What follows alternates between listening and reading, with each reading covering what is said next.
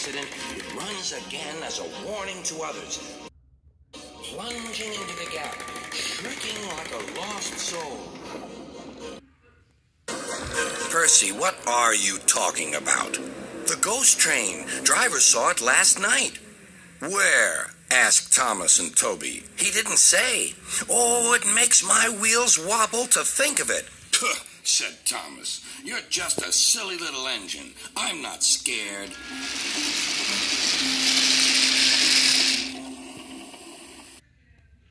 Thomas didn't believe in your ghost, said Percy next morning. His driver laughed. Neither do I. It was only a pretend ghost story. Percy was disappointed. That evening, he came back from the harbor.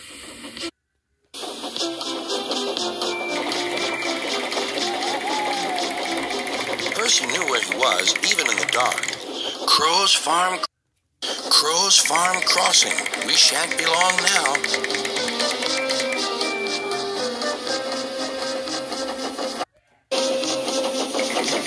He liked running at night. The rails hummed and the signal light shone green. But a broken cartload of lime lay ahead. Sam the farmer had just gone for help.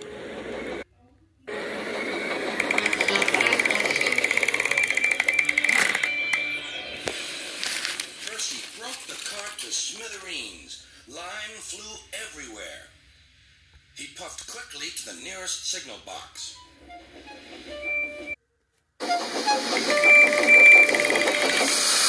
Percy's driver explained what had happened. I'll see to it, said the signalman. But you'd better clean Percy, or people will think he's a ghost. Percy chuckled.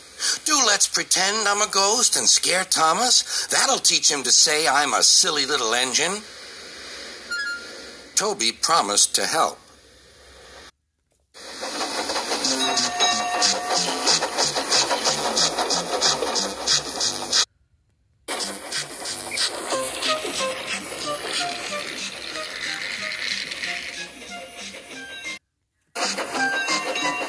Thomas was being oiled up for his evening train.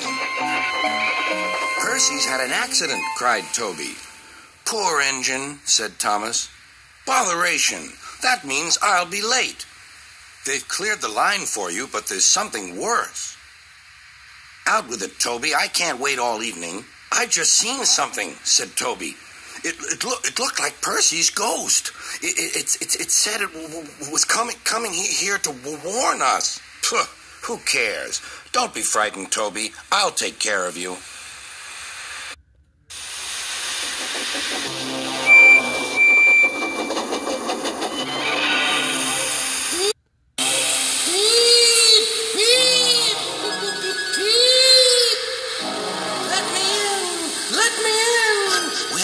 Percy. No, no, not by the smoke on my chimney, chim chim. I'll chuff and I'll puff and I'll break your door in!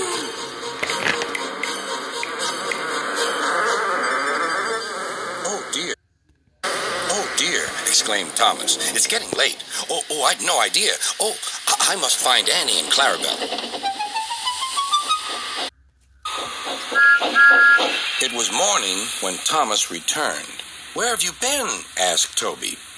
Uh, well, said Thomas, I, I knew you'd be sad about Percy, and I, uh, I, I didn't like to intrude. I, I slept in the freight shed, and